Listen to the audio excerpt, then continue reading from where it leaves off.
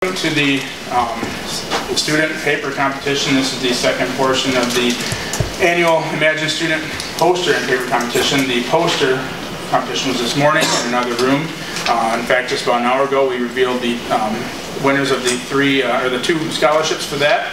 Um, the posters are still available across the hall for anybody to um, jump in and out in uh, between sessions and go take a look at. I highly urge you to do so. Um, but the reason we're here is for papers. We have several graduate students in attendance today that would like to share their work with you. And uh, uh, we're going to have the judges panel up here. Most of you, if you're here in the morning, you got the introduction. I keep making a joke about the introductions, but I have to introduce them again, especially for the students to know. Um, just in order here, on the end we have Frank Sobey. He's from uh, Charles S. Mott Community College in uh, Flint. We have Dr. Ashton Shortridge from Michigan State. Claudia Walters, U of M Dearborn, and Rebecca Rogers from Lansing Community College. Uh, so that is the people you need to impress today. Um, and as I've warned a couple of you, um, there are there's one judge that asks a lot of questions, and that's going to be Mr. Sobey. Uh, so beware. Uh, he's the one you have to look out for. So. anyway, getting back to this, um, our first presenter is going to be Frank Romo uh, from the University of Michigan. Before we get into the presentations, uh, IMAGIN President Tom Van Bruggen is going to give everybody a little bit of a welcome and um, talk about IMAGIN for a second. Thank you. Thank you. Yeah, so just a couple of quick slides, nothing uh, fancy, but number one, I want to just thank our sponsors, Infogeographics, who's uh, helping sponsor our awards today, and State of Michigan, DTMB, uh, and all of the staff from the state that have been so welcoming and helpful today, uh, from setup to planning and everything involved. So thank you to them.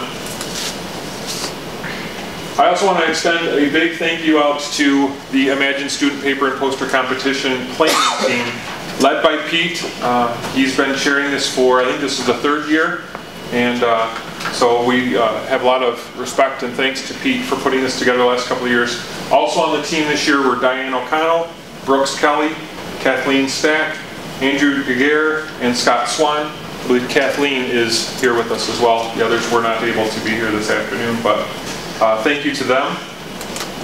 Also want to thank our judges. Uh, he just introduced them, so I won't go through all the names again, but again, thank you judges for all of your work throughout the day today. I appreciate that, and it really uh, helps us make this an exceptional event, so thank you very much. Um, just a list of the names, I kind of thanked the state earlier, but Everett, Nan, Joel, Mike, Josh, and Katina. Thank you to all the state employees that have uh, helped us throughout this whole planning and also today. All the way from my last minute, almost not being able to video anything because I don't have the right tripod mount. So 3M, we thank you this afternoon too for your little tape. So just a couple of quick slides about IMAGIN. IMAGIN is simply an organization throughout the state uh, that tries to um, promote the use of geospatial technologies. Uh, IMAGIN itself stands for Improving Michigan's Access to Geographic Information Networks. Uh, been around since the early 90s and um, has just evolved uh, into a wonderful organization that represents geospatial professional, professionals throughout the state of Michigan. Um, our vision, simply to improve Michigan's access to geospatial technologies, providing opportunities for professional interaction and fostering collaboration and networking. Pretty straightforward, I won't go into a lot, but if you have comments or questions, feel free to see myself, Pete, uh, we got a couple other board members that'll be trickling in after they get back from lunch as well. So, um, I already said what our uh, acronym stands for. Again, founded in 1993. Uh, current membership is in the neighborhood of 150 representing private government, university, and nonprofit uh, agencies throughout the state of Michigan and from outside of the state as well. Um, our second, our biggest event of the year is actually our annual education and uh, yeah, our annual conference. I'm sorry.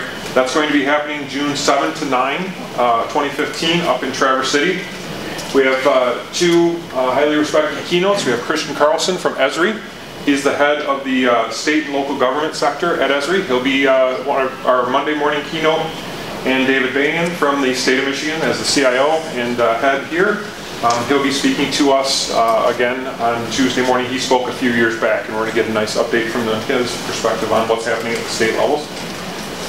Uh, We have slots for 27 different educational uh, sessions, half-hour breakout session uh, type things, where you get high-intensity uh, presentations on a wide variety of topics. Uh, I've listed- listed just a few of those out. I won't read through all the slides. Um, we have work sessions and workshops. Uh, On Tuesday afternoon, there will be um, four different work sessions, one for the Michigan GIS Users Group, which would be this group, um, the morning type session that goes around and whatever Everett plans for the afternoon. The state will have a uh, forum there for a users group. There's going to be a LiDAR workshop. Esri Hands-On Learning Lab will actually be open throughout the entire conference uh, where you can go in and take mini classes for short periods of time. They've got like 12 modules that you can do, um, all led by uh, Esri. Then there's also going to be the Higher Education State um, GIS Users Group, where they're dealing with um, how to leverage the GIS technologies not only at the college level, but then be able to integrate that into the K-12 environments as well, which is a big push. So there will be uh, work sessions and workshops on that. We also have a special two-day Esri Python training course that's going to be occurring on Tuesday and Wednesday. So it does extend one day past the conference. Um, but that'll be from June 9 and 10, and that'll be an Esri-led, Esri-instructed two-day Python training course. So if you'd like more information, you can see our website on that.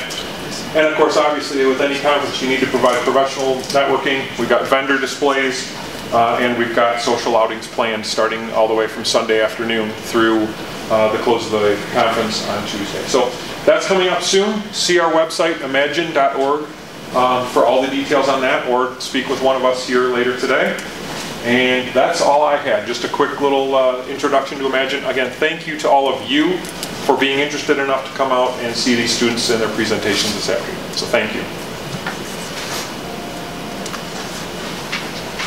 Just a couple little notes before we get started. I wanted to outlay or overlay how uh, everything was going to work. Um, we have six presentations. Each presenter is going to get about 20 minutes to, to convey their presentation. They can go short. They can go a little bit over, um, as long as that's going to cut into their question time. Um, basically, uh, the they will not be penalized if it does go shorter than 20 minutes or slightly over. Um, that being said, we uh, um, will be presenting one scholarship award for the amount of $750 to the winner. Um, however, the top three um, finishers will receive um, a conference registration to our annual conference in at Great Wolf Lodge in Traverse City, as Tom just got highlight- highlighting, and also uh, a night stay at the Great Wolf Lodge um, to present their work in front of the entire IMAGIN membership. So once again, that's on June 7th to the 9th.